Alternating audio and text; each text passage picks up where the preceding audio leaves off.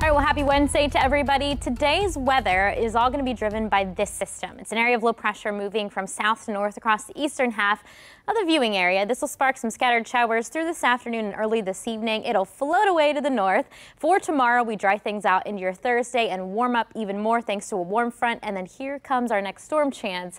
That will be on Friday as a cold front crosses the region. Temperatures over the next couple of days warming up even more. We're talking 80s by Friday. Then as we head towards the upcoming weekend, both for Saturday and Sunday, a tad cooler than the 80s, but still just beautiful. Make sure to get outside, especially on Saturday, looking at a high of 70 and 73 on Sunday. More storms in the mix by Sunday afternoon. So the next couple of days, it's just going to keep getting warmer. Looking beautiful for Thursday.